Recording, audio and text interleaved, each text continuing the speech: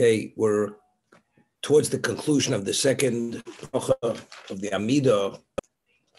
We say that Hashem resurrects the dead, resurrects those who are sleeping in the dust. And we speak about his ability.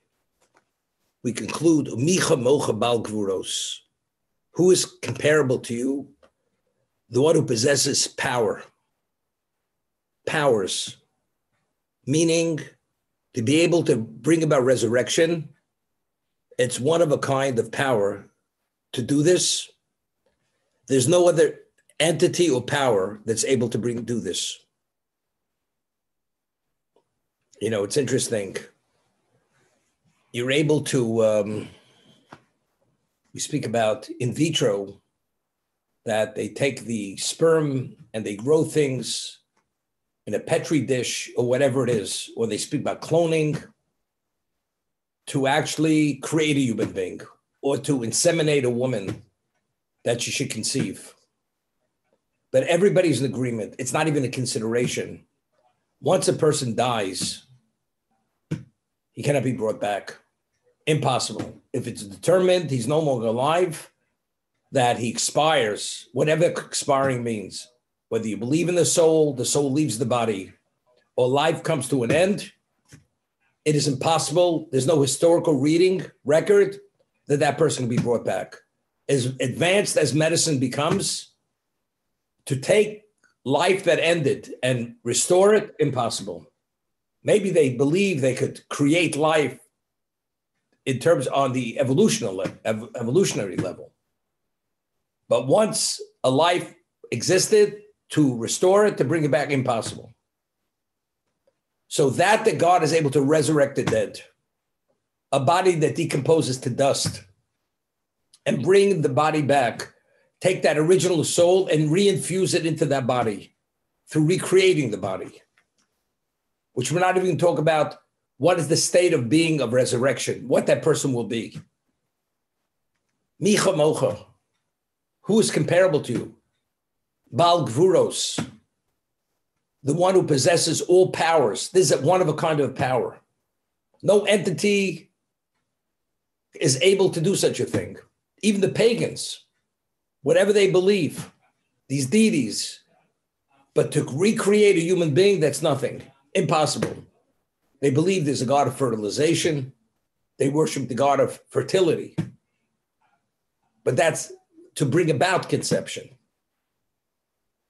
But resurrection, Mi Chamocha Balgvaros, who is like you, the one who possesses all the powers, not Bal Gevura in the singular. This encompasses all power. This is the all powerful. Umi Domalach.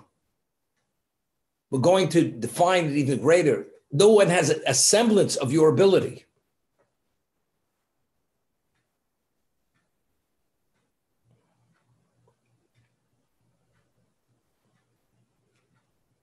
Now, let's talk about resurrection. What actually happens? The Ramchal, Rabbi Luzzatto writes in one of his works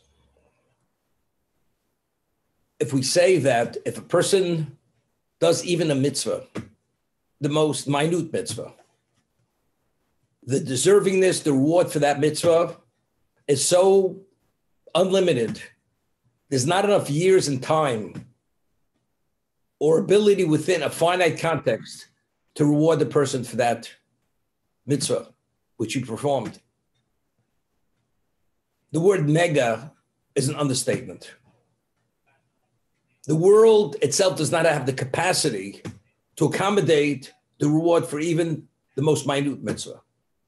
The Talmud tells us that if a child lives to the age where he's only able to say Amen, Amen is an acronym for Amen Kel Melech Ne'eman, acknowledging God for being the faithful God. Just for saying Amen, the child, although he's a minor, will merit a share in the world to come. The Amen brings about enough of a result, generates enough of a spiritual energy that that child will be worthy to have a relationship with God, to be part of the world to come. So if a person does multiple mitzvos, commandments, observes the positive, takes initiatives, refrains from the negative, which is a demonstration of one's fear of God, which is a positive commandment. How do you quantify that level of accomplishment? It's unquantifiable. The soul itself, although it's finite relative to God, God is infinite. As I said, even the greatest angel cannot fathom the makeup of the Jewish soul. So the Jewish soul, after it's been infused with a level of energy, which is unquantifiable energy, because for that those mitzvos, the only infusion which a soul is able to be infused with is an infusion of spirituality, which is only a result of doing a mitzvah. Positive, initiative, or refraining from the negative which is an expression of fear of God, reverence of God. That's what it is. If the soul would be infused with that, which it is infused with that, and that's it's sharing the world to come. The level of infusion, how much infusion, the quality of the infusion will determine the dimension of that soul. Initially, the soul is all potential. When you infuse it, now the potential is actualized and the soul becomes a different entity, not recognized as originally was when initially was created before man took initiative to do make the right choice. If that soul initially when it's infused in the body it's a soul which hasn't been actualized, it hasn't been infused, it hasn't expanded yet. It doesn't raise, radiate yet, it doesn't pulsate at this level which borders on the infinite. If it's infused in the body at that point, it's not a problem. But if the level of infusion is so beyond being fathomable, and the soul ultimately expands, radiates, and that soul, in that expansive context, is in the body, where man would not have choice. A human being would not have choice. Why does a person sin? Why is a person inclined to sin? And choice is to rein in on the physical and suppress the physical inclination and to do what God wants. It's a tug of war between the physical and the spiritual. It's only a tug of war because in the state that the soul is in, it doesn't manifest itself because it hasn't been actualized due to the infusion of the choices which were made. Because if it was infused, if those infusions manifest themselves in expansion, in radiance, the soul would spiritualize the physicality of the body. And once the soul overwhelms the body with, with its spiritual infusion, the body no longer functions as a physical entity. It's like we find Moshe Rabbeinu, although he was a physical being, he radiated holiness. As we read in last week's reading, the, reading, the radiance was so intense and overwhelming, people could not look at his face. They didn't have the capacity to deal with that level of holiness, he had to cover his face with a mask that they should not see his face. And that's without the soul expanding as it would be expand in the world to come. Every Jew, if that soul would expand due to the radiant infusion of the mitzvah, the soul will become as I said, there's no other word to would become so mega, so expand expansive and overwhelming, the body could not, which is finite, cannot stand up to the soul. So what does God do? although we do many things, good things in our lives, God suppresses the effect of that infusion. He suppresses it. Because if he would not suppress it, the human being would not have free choice. Because the person instantaneously would be spiritualized. Even for one mitzvah, the body's finite, the soul is infinite. The Borders on the infinite. Mitzvah borders on the infinite. If you if you pit finite versus bordering an infinite, what has the upper hand? Something borders on the infinite. Therefore, God does not allow the soul to be impacted, to expand, and to become spiritualized in its true potential, because that would immediately disrupt the whole concept and undermine free choice. Man would no longer have free choice. So, what happens when a person, the soul, ascends to the world to come? All that spirituality that was suppressed throughout a person's lifetime due to all those infusions being in a spiritual realm, being in the soul world, now that soul expands at a level which is not to be fathomed. And the soul is not recognized any longer as that original soul that it was infused in the body when the ch- when the person was born, as an infant. Because initially, when the child was born, it's all potential. Now it's been actualized. Actualized it's a different dimension. It's a different realm of existence. When that soul is now reinfused in the body after it's resurrected, which it's resurrected as pure matter, because the evil of the tree of knowledge remains in the ground and all that's recreated is the body, which is pure. What happens when that soul is infused in that body?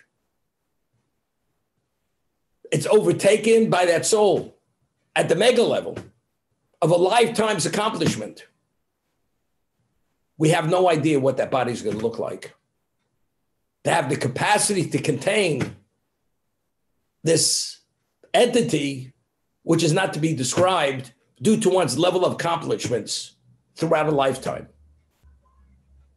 But that is what the so resurrection is not only bringing the physicality of the person back, it's reinfusing that physicality, which is now comprised of pure matter, with a soul that's been infused with unfathomable infusions. As we said, a child who answers Amen once in a lifetime merits a share in the world to come.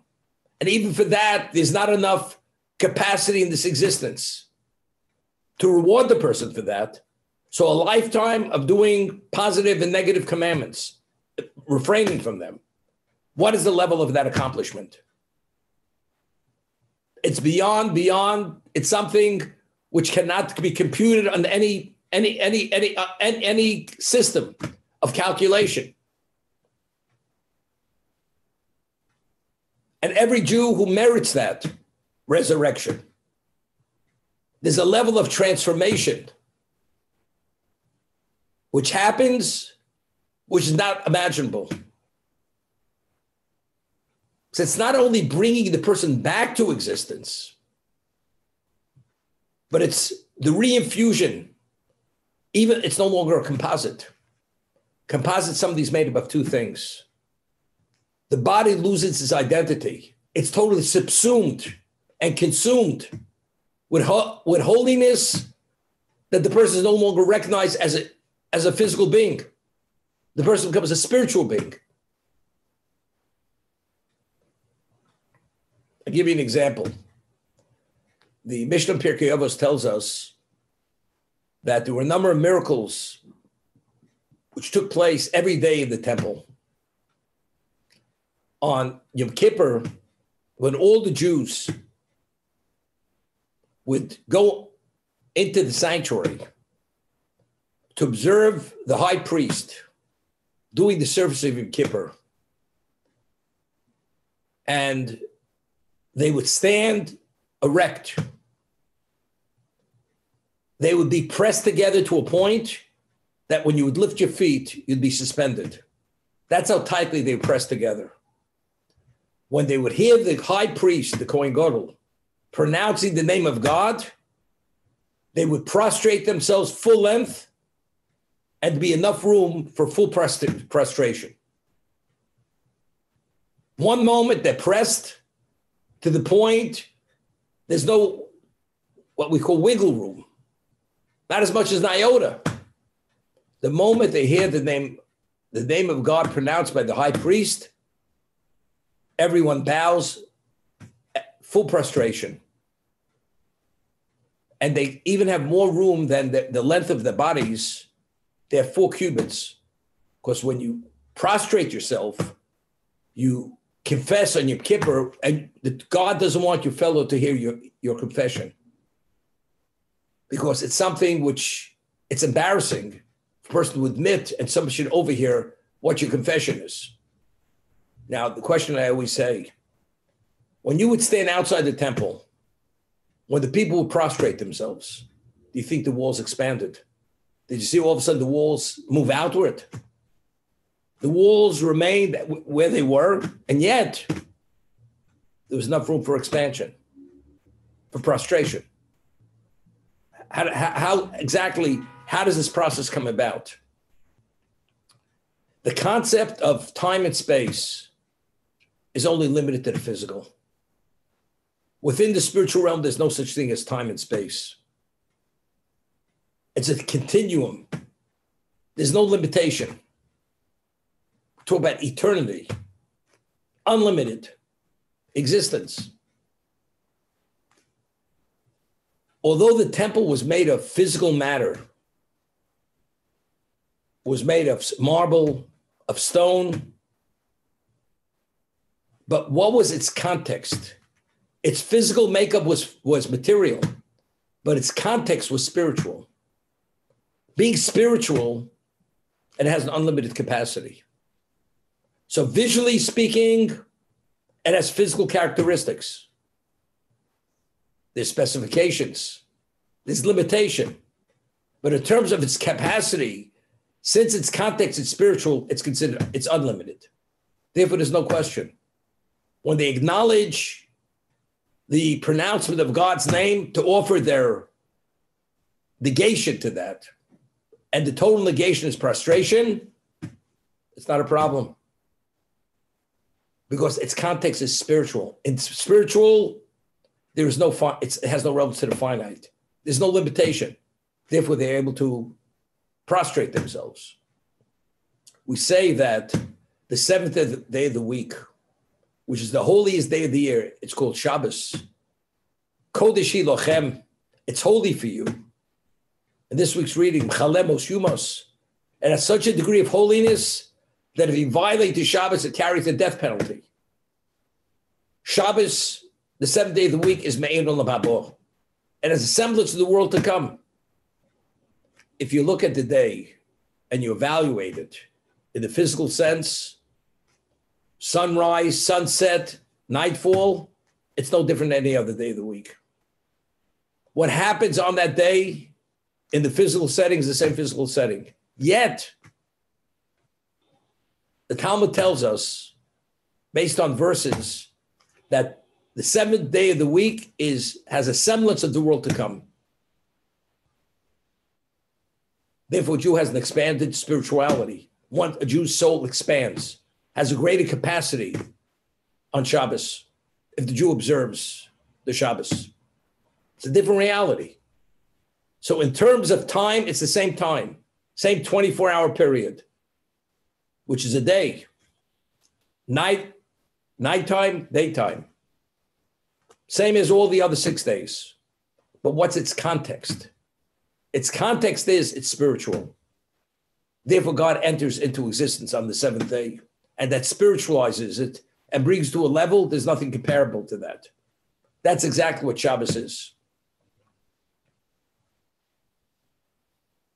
Today, when we do the mitzvah, we are spiritualized. It activates our spiritual senses. As we have physical senses, nerve endings, we have spiritual nerve. A person who's spiritualized, he's sensitive to things which are not obvious to, to the ordinary person. But in terms of being overwhelmed due to that spiritual infusion, the effect is less than infinitesimal. Because if it was to any degree, our value has been lost. It was no longer a context of free choice. The moment that happens, we no longer have free choice. A person naturally will only do the will of God because all that exists is only the imprint and the effect and influence of the soul and the good deeds we do. So we're talking about bringing a soul, reinfusing in the body. Mi Chamocha Balgros. Who is comparable to you?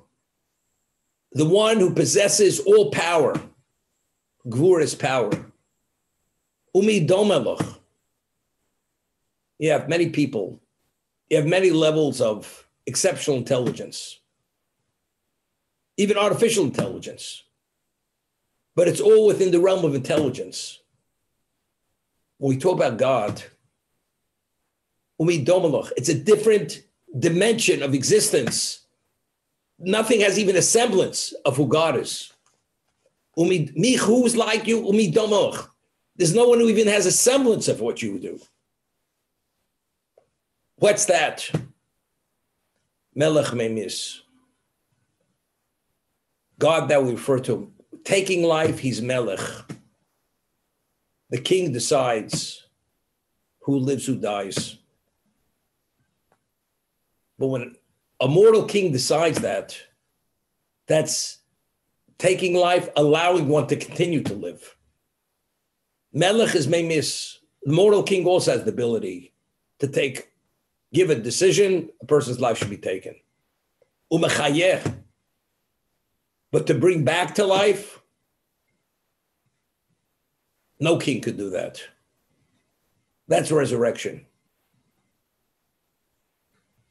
They don't even consider that within the realm of any possibility.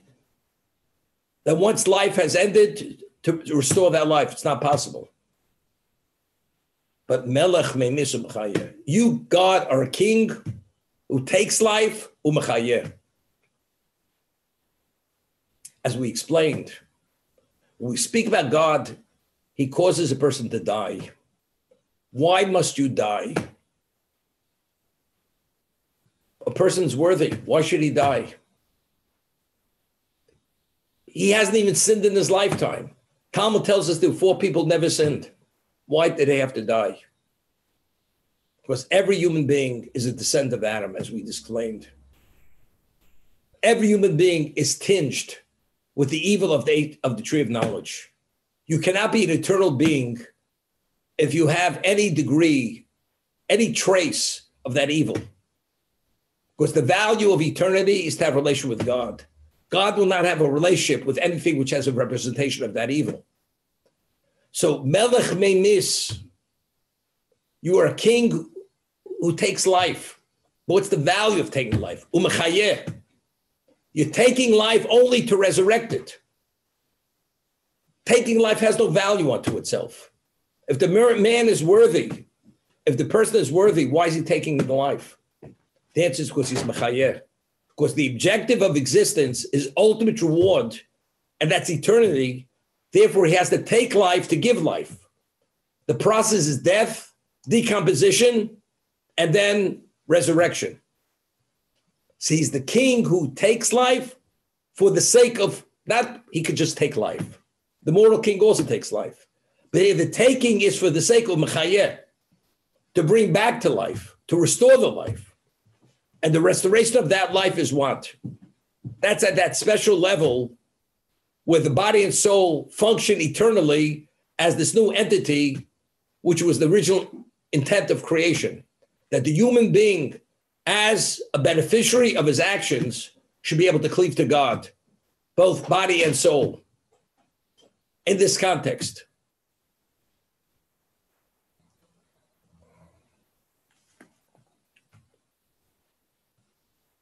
Umatzbich Yeshua. But when is it going to happen? God puts many things throughout history, and God guides history things evolve and happen based on man's choices. The objective is we have to get to home plate. We have to reach our destination. What's destination? Resurrection's destination. That's the end of time. We have to be worthy to merit that. Let's say mankind would always be going on that straight and narrow path, always doing good deeds. We would have reached there thousands of years ago. But man, unfortunately, took detours. And we backtracked. And we deviated.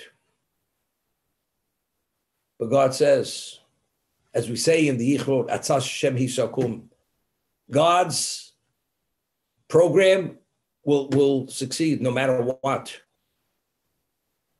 Even if you have to take a detour, go out of your way, endless time.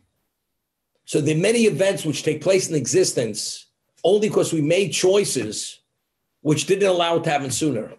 We could have taken the, state, the straight road. But what did we do? We destroyed that pathway. So God has to create a different approach to be able to arrive at the destination. So God is continuously matzmech Yeshua. He plants the salvation. He puts along the roadway continuously aspects to bring about the ultimate salvation.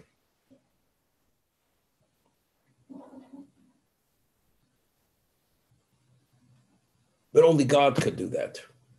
Because only God could bring about the ultimate level of perfection, which is what? Which is resurrection.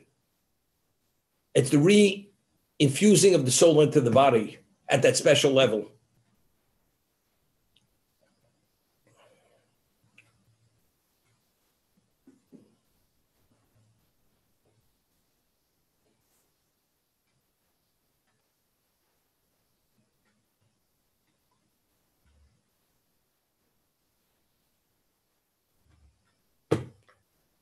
You know, there's a question which is asked, which we discussed. One of the blessings we ask for healing.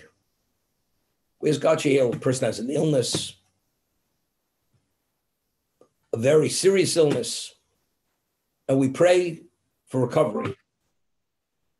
Refaeinu Hashem heal us and let us be healed. Hoshedim Divashea, bring about salvation, and it should be a permanent salvation.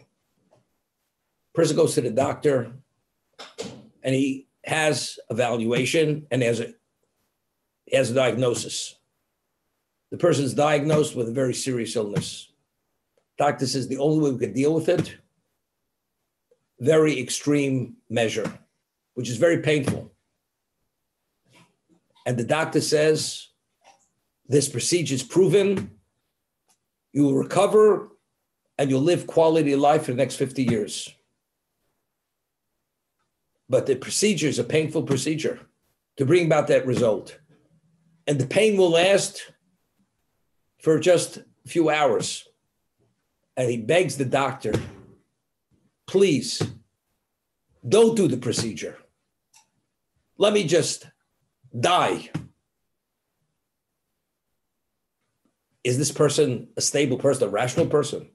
Anybody understands, and this is proven, guaranteed, it will succeed.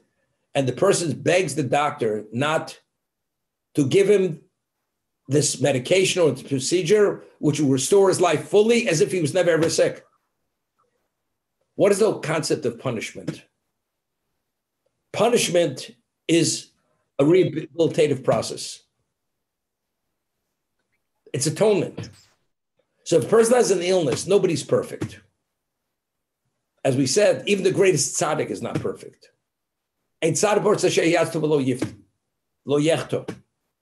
So any illness anybody experiences is due to what? It's not due to we're doing too many mitzvahs. So we always have a question. This other person is endlessly worse than this person. He's as healthy and he's never seen a bad day in his life. And the tzaddik he does he hasn't seen a good day in his life. Infirm health, failing health. But nobody's perfect. Even the tzaddik's not perfect. God decides that tzaddik has to pay his debt in this world. And the tzaddik's happy to pay his debt. That when he leaves this existence, he leaves debt free. The other person not being that level of tzaddik, God has a different program for that person. But whoever is ill and we pray for healing, even the tzaddik prays for healing. Why pray for healing? It's totally contrary to any logical, rational thought process if you believe and understand that the process of illness is a rehabilitative process. So why do we pray for healing? We're begging the Rofei Lasos, the ultimate doctor. I'm God, your healer. Don't provide the healing. How do we understand it?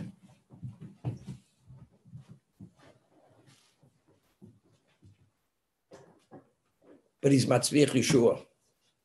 Many things that happened to us throughout history. Why was the second temple destroyed? Unwarranted hate. It's not because we were too holy and we didn't need a temple. We were unworthy. That's why the temple was taken. The Jerusalem Talmud says that every generation where the Beis Hamikdash was not rebuilt, it was as if it was destroyed. Why? Because since it was destroyed because of unwarranted hate, it's clear we haven't corrected the problem. Because if we would have restored ourselves, that that failing is no longer among us, the temple would have been rebuilt. So since it's within our ability to make the correction, if we didn't make the correction, the generation is held culpable for destroying it. Having the ability to restore and we choose not to restore, we're responsible for the, for the non-restoration. So all the problems, the pogroms, the upheavals, the persecutions, the discrimination, everything is due to what? It's due because it's part of an atonement process. It's what we call wake up call. Know, we're in a trance. We have to be shaken out of that so called trance to be sensitive to the reality of what we have to deal with. Hashem is Matzmich Yeshua. He's always planting whatever is needed to bring about that ultimate salvation all these various things. They tell the story, the Arizal, who was the greatest Kabbalist since Reb Shimon Yochai, the 16th century, he lived in Tzfat, and he was walking with his students, which were all great Kabbalists. And as they're walking out in the fields, and he's teaching them all the secrets of existence, they see a very simple Sephardic Jew with his donkey, and the donkey's lying on its side, and the donkey broke its leg. And the only source of livelihood for this poor, simple Sephardic Jew is the donkey. It breaks its leg, and the donkey has to be killed, has to be destroyed. His only means of livelihood in a moment is taken from him. He raises his eyes to Hashem. He says, Ishtabach Borei Olam, Baruch Hashem, it's your will. Let it be an atonement with absolute faith, purity of faith. And then he goes and he lifts up a stone, a boulder. What does he find under the boulder? jewels, which had which was endlessly more valuable than herds and herds of donkeys, flocks of donkeys. So the Arizal says to his students, what this man merited, we couldn't merit. Why? Because his faith is so absolutely pure. It's not because he understands. He accepts God's will, doesn't even question it. It's not I have to figure it out and say, it's in my best interest. He accepts it, he embraces it, makes a statement. That statement is a sanctification of God's name. God immediately compensates him, immediately. Because he understood, as the Sephardic Jews say, kapara. It's an atonement. The whole value of anything, It's all part of the atonement process. But all these issues is Matzmiach Yeshua. God is planting all along the way all the necessary components which ultimately will bring the redemption. We have to meet a certain critical level of suffering. Once we pay off the debt, then it's going to happen. The Chofetz Chaim believed that World War One was the beginning of the Messianic times. Why? Because the Talmud tells us, based on a verse in prophets, that we have a debt to pay. And God deals with the Jews differently, deals with the nations of the world. And it says, what is it analogous to? A king gives a very large loan to the, a person who's most intimate with him, person he loves. And he gives the same amount of money to a stranger who's one of subjects. And he says to his intimate friend, because this loan, although you have all these years to pay it, I want you to start paying it immediately. Why? Because if you pay it immediately, when the loan's going to be due, you'll have to make one last payment and you're debt free. This other person, he could do what he wants. But if he's delinquent on paying that debt and he can't pay the debt, I will destroy him. You, I don't want to destroy. You, I love. So I'm giving a payment schedule to pay it out over time that when the last payment is due, you'll be able to make that payment. So the Chofetz Chaim explains World War One, which was the precursor to World War Two, was already the payment of the last the last payment of that debt. Sometimes the last payment of the debt, you really have to make that extra effort because now we have to wipe the record clean that there's not a trace of debt. So sometimes to be tremendous suffering, tremendous pain. And that's what's called Ikvar Mashiach. It's called Chevli Moshiach. It's the birth pangs of the coming of Messiah. What's the birth pangs? A woman, when she goes into labor, she has this movement, contractions. The unborn child is in, a, in her womb every time she has a contraction, it pushes the child closer to, to actually coming into being a human being. Those contractions are very painful. And as it gets closer, they become they become more frequent. It reaches a climax of pain. And finally, the child's pushed out, the mother is relieved. No more pain. That's the birth pangs of Mashiach. It's the last payment of debt. It's painful, but God wants that debt to be paid because once it's paid, the salvation comes immediately. God's glories immediately, and we are proclaimed to be God's people. We're fully rehabilitated. Resurrection happens.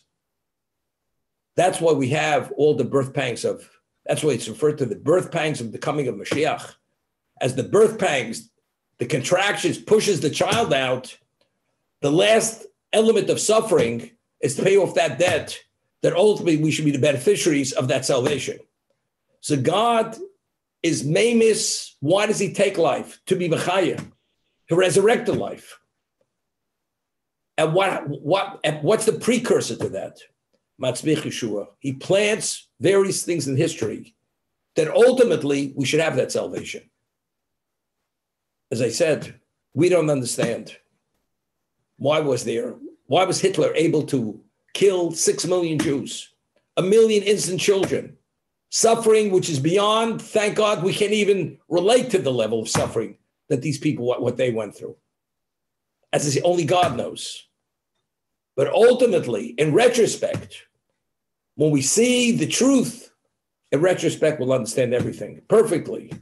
Why all those plantings and all those signposts all along the way when necessary to come to the destination. This is Umatzmich Yeshua. He plants the various events in history that ultimately we should have the salvation. And we have no question. You are faithful that you will resurrect the dead. It hasn't happened. And I always say, thank God we believe in God. Because if we did not believe in God and we say life is random and we see the craziness of this world and what's going on, there's no rhyme, there's no reason. It's insanity. And beyond insanity, what, what, what, do, what, what should we do? Dig a hole, go into it and just cover it over and forget about life. But if you believe in God and understand there's nothing random, everything that happens is because God's allowing it to happen way it happens. And everything has a positive aspect to it. Because only through these various events are we going to arrive at the destination. Although they may be painful. But the key is we have to arrive. You're faithful. You will resurrect the dead. And because you're faithful, that's not even a question, if everything has meaning. Once everything has meaning, as we acknowledge God for good fortune, we acknowledge God for tragedy, although it's tragic, we say we say. God is the true judge. It's only because he's Ne'eman, because he's faithful and truthful, that he will resurrect the dead, which ultimately is what is the objective, and that is the ultimate destination.